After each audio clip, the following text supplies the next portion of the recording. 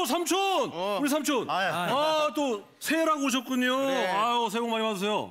복 많이 받고. 예, 예. 어, 상훈아. 세뱃 던져야지. 아, 그러고 보니까 내가 삼촌한테 세배를 안 했네. 아, 저런 됐고 우리 상훈이 매년 하는 거 그거 한번 보자.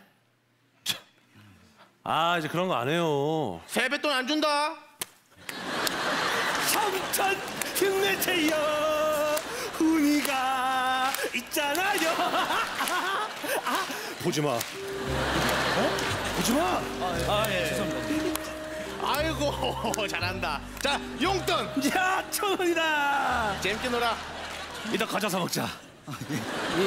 너는 명절인데도 늦게 오고 핑키 너 아주 혼나봐야 돼. 오늘 아주. 저기 친구들 새해 복 많이 받으세요. 아, 근데 핑키요? 아, 우리 집에서 부르는 애칭.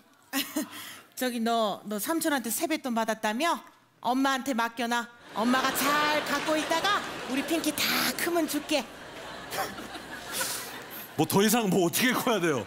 저 내일 모레 마흔이에요. 하나, 아, 됐어. 둘. 뭘 뭐? 알았어. 형님 큰일 났습니다. 지금 도끼파놈들이 쳐들어왔답니다. 지금 가보셔야 될 것 같습니다. 그래?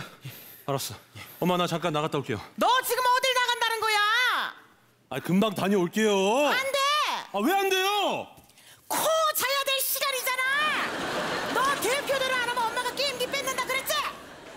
게임기. 둘이 가. 니네끼리 가. 아 형님 지금 설마 게임기 때문에 이러시... 아니? 아닌데? 잠깐.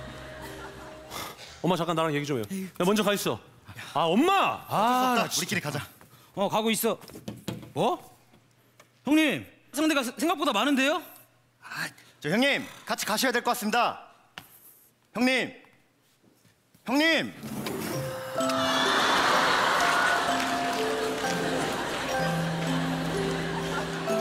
형님. 문 닫아. 예? 문 닫아.